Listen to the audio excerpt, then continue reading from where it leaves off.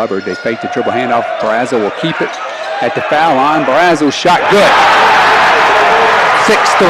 Tie on Pierce. Swings it to Clements. Clements trying to get ahead out the backdoor. Good on his right-handed drive. Maybe on Howby. Nice backdoor cut by Elliott. Swings it to the corner. Corner three ball by McGowan's good. Draining the trifecta there. To Miles Harris. Got to make something happen. Five on the shot clock. McGowan's three is good from the corner. Get Harris. The He's playing two.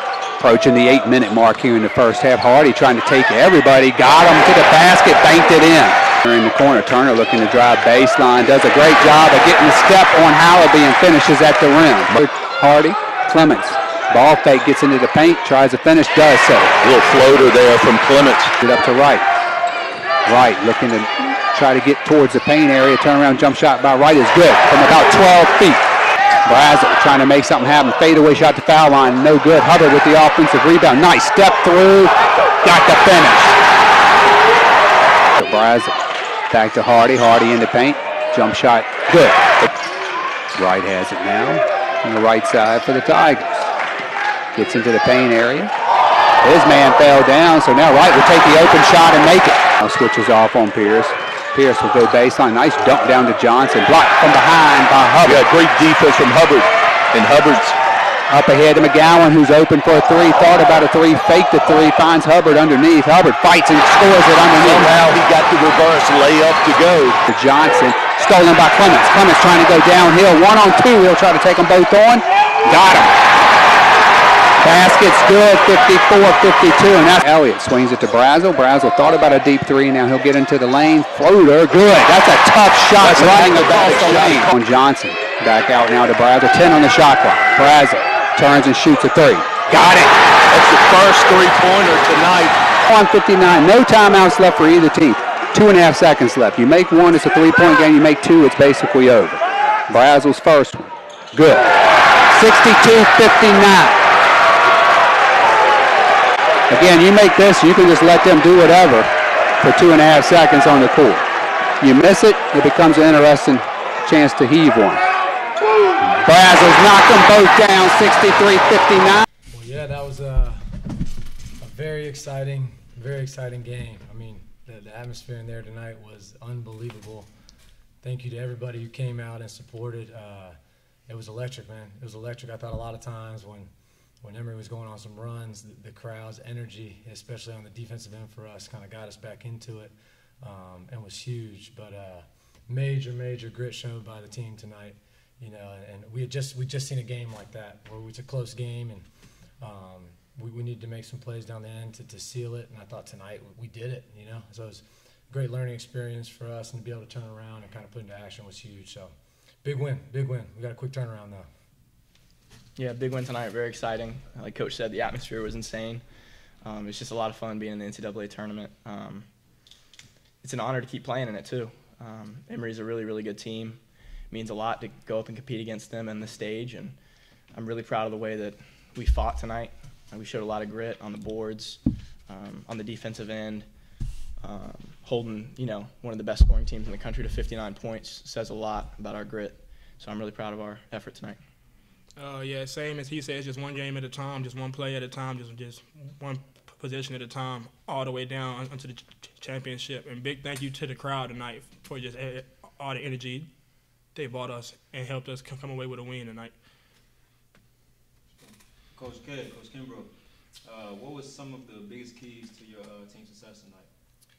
Well, you know, I mean, I think all week we just talked about, um, you know, defensively how we needed to be together. Uh, their point guard is exceptional. I mean, the guy can really go. Uh, obviously, they got some big men that hurt us too. 24 for them, I thought had a great night. He's a senior for them. Um, that played really well. But for us, I mean, we, we, we were focusing in on you know how tough we needed to be on the rebound.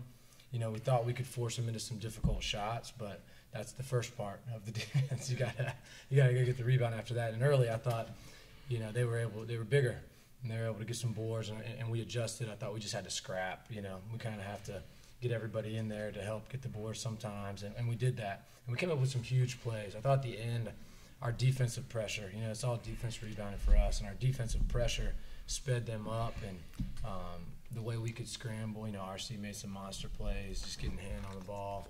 Um, AB the same way. So uh, yeah, our defense and rebound definitely hang our hat on that. And you know, I know they got some O boards in the first half, but I thought just our ability to scrap and stick with it was huge.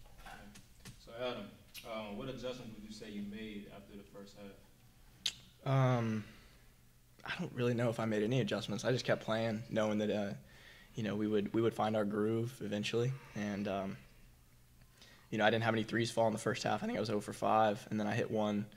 Um, and my team, my teammates just told me to keep shooting it. Um, coach and staff kept encouraging me to shoot, and um, I made my free throws down the stretch, which I was really proud of. And eventually, we got the win. Yeah.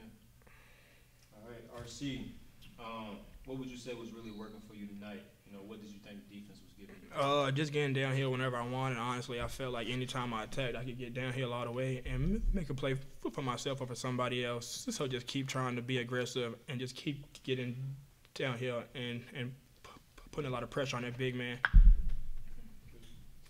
Coach, looking forward to tomorrow night, Christopher Newport. What's your mindset going into tomorrow's game? Yeah, I haven't flipped there quite yet. I'm still letting this one soak in and enjoying it a little bit. Um, but when we get there, uh, you know, we played these guys before. Uh, we played them without their big man. He was very dominant offensively down there.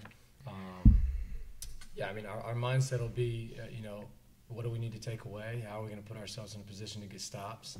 I think offensively, um, you know, we have some ideas on how we can attack. They, they pressure man-to-man defense. Uh, honestly, they're they're somewhat similar to Emory in a few ways. Uh, so we may be able to take some things that we did tonight and transfer it over to tomorrow. But the key for us is to be fresh. You know, it's just to be fresh, is to be confident in, in executing a game plan. Whether that's you know one day turnaround, it's going to be pretty simple. Uh, we're going to rest on what we've done all year, more so than worry about what someone else has done. But um, we're excited. We're excited. We'll turn around tomorrow and, and figure out a way to get done. Adam, when it comes down to those last final possessions, when it was a two-point game, what was your mindset? Um, offensively, my mindset was uh, let's get into a, like a pick and roll, me and Hub. Um, see if we can create off of that. See if I can get to the paint, um, create for others, or create a shot for myself. I think that's a pretty effective way for us to close a game with me and Hub. And uh, on the defensive end, I was just thinking, let's sit and let's crash the board and uh, and get the offense. One last question Ryan. You're always a personality on the court. What's it like playing in a big game like this at home? Uh, it's great. It's honestly probably not a better feeling in sports than playing in front of you, your home crowd this late in the season. So, so just using that to feel me and to feel the guys is a great experience.